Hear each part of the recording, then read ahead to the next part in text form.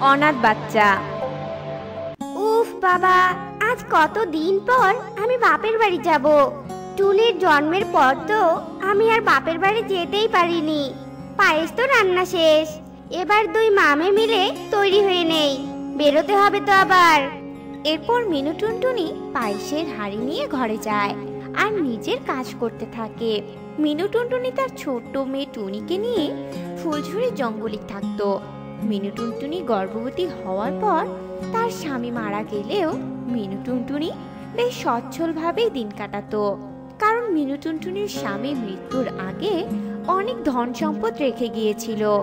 যাক আমরা মা মেয়ে মিলে দুজনেই তৈরি হয়ে নিয়েছি। এবার পায়েসের হাঁড়িটা নিয়ে বেরিয়ে পড়ব। চল মা এবার তাড়াতাড়ি চল। এ কথা বলে মিনু টুনটুনি পায়েসের হাঁড়িটা নেয় আর টুনিকে নিয়ে বেরিয়ে পড়ে।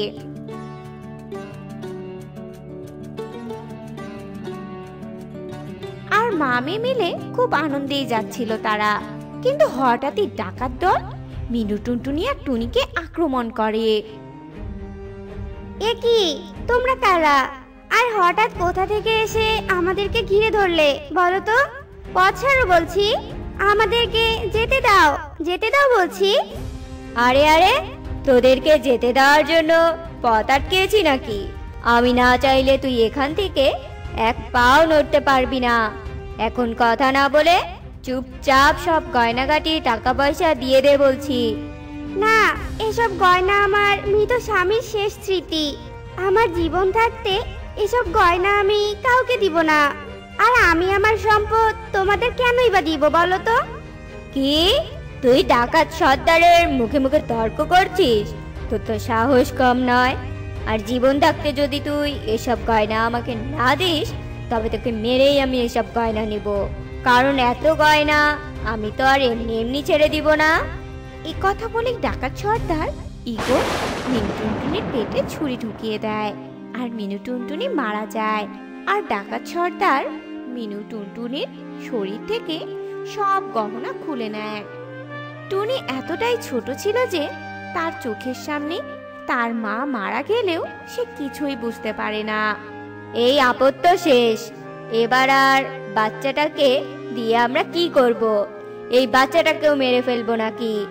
না, সর্দার মশাই, এই অনাথ বাচ্চাকে মেরে আর কি হবে?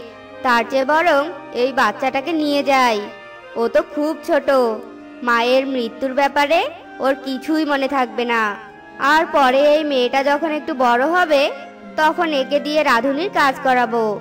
যাকে হাড়ির এই পায়েস থেকে সুন্দর সুবাস বের হচ্ছে।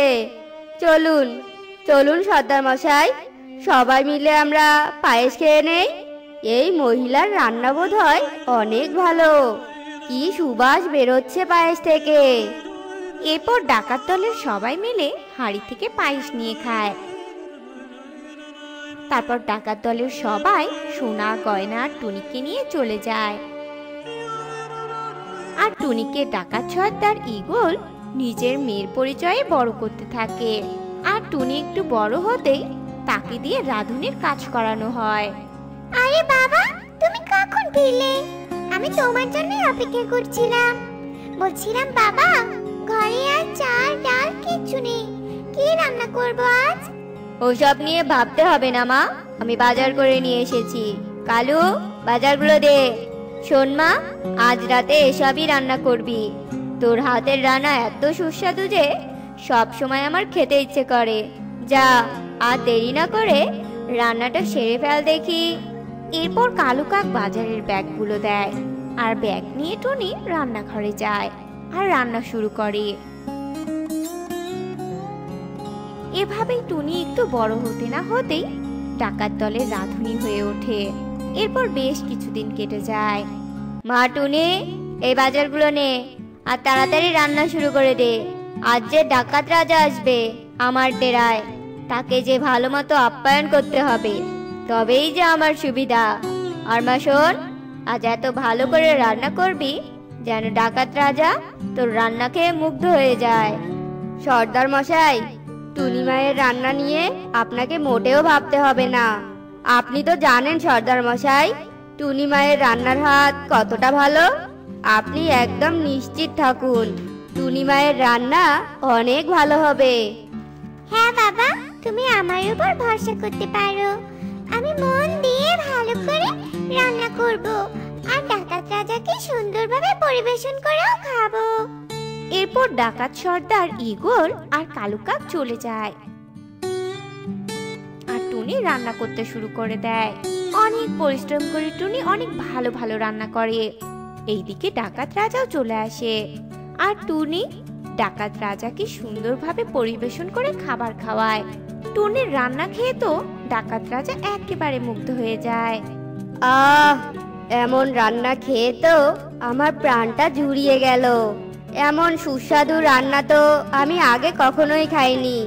তোমার বাসার রাঁধুনির রান্না খেয়ে আমি খুব সন্তুষ্ট হয়েছি, সর্দার। এমন রান্না আমি রোজ খেতে চাই। তাই আমি ভাবছি, এসব রান্না যে রাঁধুনি করেছে, তাকে আমি কিনে নিব। এবার বলো তো সর্দার, এই রাঁধুনির মূল্যস্বরূপ তুমি কত স্বর্ণমুদ্রা চাও? আপনি সত্যি সন্তুষ্ট হয়েছেন, ডাকাত রাজা? কথাটা শুনে আমি ধন্য হয়ে গেলাম। আপনি সত্যি আমার রাধুনিকে কিনতে চান? তবে বেশি না। পাঁচশো স্বর্ণমুদ্রা দিলেই আমি আমার রাধুনিকে আপনার কাছে বিক্রি করে দিব। বাবা, এসব তুমি কি বলছো? তুমি আমাকে বিক্রি করে দিবে মানে? বাবা, তুমি আমাকে বারবার রাধুনি বলছো কেন? আমি তো তোমার মেয়ে। চুপ চুপ কর মুখ করি কে আমার মেয়ে? তুই? তুই তো বাবা মা মরা একটা অনাথ বাচ্চা।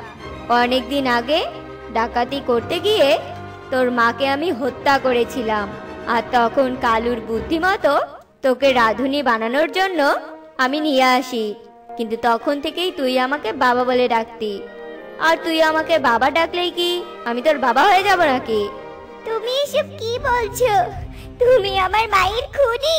তবে তুমি এতটাই নিষ্ঠুর। এতদিন আমি তোমাকে নিজ হাতে রেঁধে খাইয়েছি। আর আজ তুমি অর্থের জন্য আমাকে বিক্রি করে দিতে চাইছো। সত্যি ডাকাতদের মন খুবই নিষ্ঠুর। তাদের মনে কোনো মায়া নেই। হয়েছে থাম। এসব ন্যাকা কান্না করে কোনো লাভ নেই। আজ তোকে কেউ বিক্রি হওয়া থেকে রক্ষা করতে পারবে না। সর্দারের কথা শেষ হতে না হতেই একটা টোনা সেখানে আসে। টোনা একজন পুলিশ ছিল আর পুলিশ টোনাকে দেখে তো ডাকাতরা ঘাবড়ে যায়। তুই ভুল বললি ডাকাত সর্দার আমি বাঁচাবো টুনিকে আর তোকে তোর কুকর্মের জন্য শাস্তিও দিব। এতদিন তুই পুলিশের চোখ ফাঁকি দিয়ে পালিয়ে বেরিয়েছিস কিন্তু আর নয়। আমি ডাকাত রাজাকে অনুসরণ করে আজ তোর আস্তানা খুঁজে বের করে ফেলেছি। তোরা যে পুরো জঙ্গলে এতদিন অনেক ডাকাতি করেছিস, তবে আজ তোর তোর ডাকাত রাজার আর ডাকাত দলের কারোই কোনো চালাকি চলবে না। আমি তোদের গ্রেফতার করে নিয়ে যাব। সিপাহী, নিয়ে যাও সবাইকে। এরপর টোনার কথা মতো সিপাহীরা সেখানে আসে। আর ডাকাত রাজা, ডাকাত সর্দার সহ সকলকে গ্রেফতার করে নিয়ে যায়। আপনি কাঁদবেন না টুনি। আমি আড়াল থেকে সব শুনেছি। কীভাবে ডাকাত সর্দার আপনার মাকে মেরেছে। তবে এবার এদের আমি উচিত শিক্ষা দিব। আর হ্যাঁ আপনি ভেঙে পড়বেন না। আমি আছি আপনার পাশে। চলুন আমার সাথে। এরপর টুনি টোনার সাথে যায়। আর টুনির সব দায়িত্ব টোনা নেয়। বন্ধুরা আজকের গল্পটি তোমাদের কাছে কেমন লেগেছে? তা কমেন্টে জানাতে ভুলো না কিন্তু।